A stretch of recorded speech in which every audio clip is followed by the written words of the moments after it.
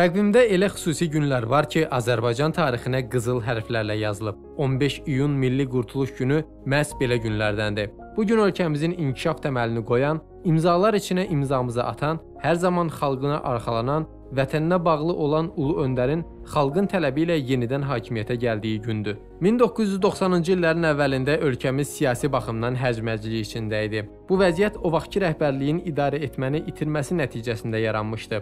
Mövcud vəziyyətdən təngə gəlmiş xalq çıxış yolunu Heydər Əliyevin hakimiyyətə gəlişində görürdü.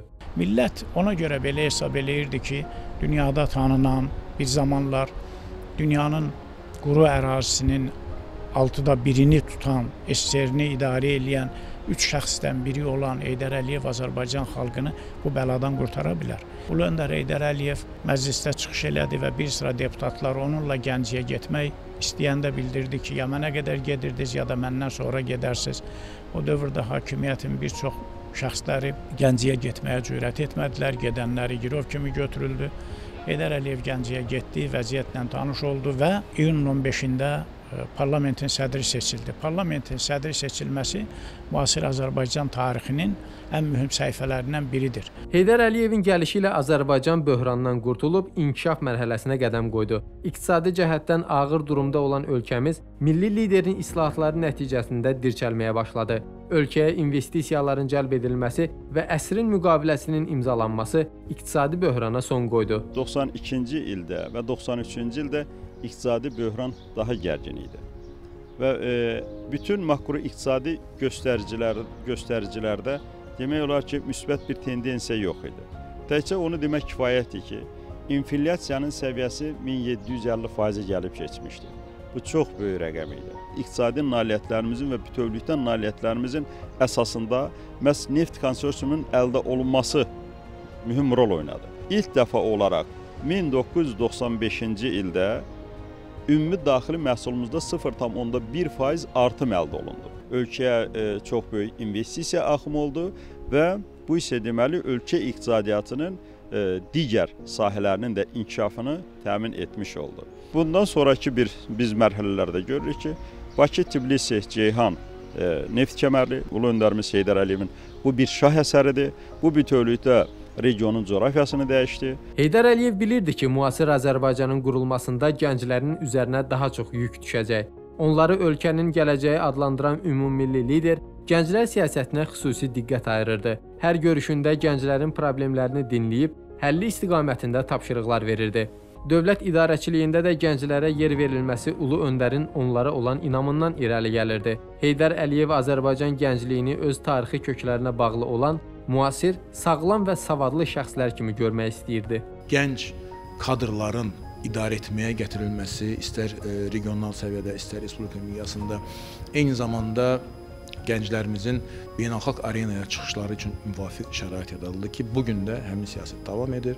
Bu gün də e, kifayət qədər Azərbaycan gəncləri idarə etmədə təmsil olunur, seçkili orqanlarda təmsil olunur. Demək olar ki, e, istər ölkə daxilində, istər beynəlxalq miqyasda elə bir sahə yoxdur ki, orada Azərbaycan gənci sözünü deməsin. Beynəlxalq sahədə də ən mötəbər kürsülərdən belə Azərbaycan həqiqətləri dünyaya çatdırılır. Azərbaycanla bağlı e, müvafiq məlumatlar dünyaya çatdırılır və həyata keçirilən layihələr çərçivəsində bizim gənclər çalışırlar ki, e, fəal mövqedən çıxış etsinlər. Gənclər həmçinin torpaqlarımızın qoruyucuları, vətənimizin keşiyində duran əskərlərimizdir. Ordu quruculuğu sahəsində görülən işlər həmçinin vətənpərvər ruhlu hərbiçilərin yetişdirilməsinə də zəmin yaratdı. Hələ Sovet dövründə Bakıda Cəmşid Naxçıvanski adına hərbi liseyin açılması uzaqgörənliklə verilən bir qərar idi. 1971-ci ildə çox çətinliklə Heydər Əliyev bu məktəbin yaradılmasına nail oldu. Moskva rəhbərliyi, keçmiş SSR Moskva rəhbərliyi Cəmşid Naxçıvanski adına hərbi liseyin yaradılmasına əleyhinə idi. Yəni Ulu öndərə deyirdilər ki, var məktəblər, sonra məktəbləri var, nə qədər getsinlər, oxusunlar və s. Ancaq o öz uzaq görən siyasəti ilə bu məktəbin vacibliyini dərk edə bilərdi və indi biz illər keçdikdən sonra bu məktəb niyə bu qədər vacib idi, onu indi dərk edirik. 30 il yubileyində dediyi kimi, mən bu məktəbi yaradanda istəyirdim ki, bu məktəb e, zabit kadrların yetişdirilməsində bir bazaya çevrilsin. Və bu gün mən çox xoşbəxtəm ki, artıq bu məktəb hərbi bazaya çevrilmişdir. 71-ci ildə Cəmşid Naxçıvan Sənəd Museyinin təməlini qoyanda, yaradanda o bilirdi ki, nə vaxtsa Sovet imperiyası dağılacaq, Azərbaycan öz müstəqilliyini qazanacaq. Müstəqilliyin qorunması asan başa gəlmədi. Azərbaycan torpaqları Ermənistan tərəfindən işğal olundu. Heydər Əliyevin rəhbərliyi altında 1994-cü ildə baş tutan Horadiz əməliyyatı nəticəsində Horadiz qəsəbəsi və 22 yaşayış məntəqəsi geri qaytarıldı. Bu artıq Azərbaycanda nizamlı bir ordunun yaradılmasından xəbər verirdi. Qarabağı azad görmək ümummilli liderin ən böyük arzusu idi. Daim bu amalla yaşayan ulu öndərin arzusunu Ali Baş Komandan Prezident İlham Əliyev gerçəkləşdirdi. Ötən il sentyabrda başlayan döyüşlərdə Ermənistan ordusu Azərbaycanın dəmir yumruğunu gördü. Heydər Əliyevin təməlini qoyduğu ordunun xələfləri düşmənin ayağını torpaqlarımızdan bir dəfəlik kəsdi.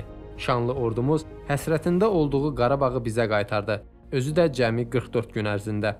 Bu 44 günlük gücün təməli də elə 1993-cü ilin 15 iyununda qoyulmuşdu. Bəxtiyar Məcidli, İsa İsmailov, Rüfət Məmmədov, ATV Səhər.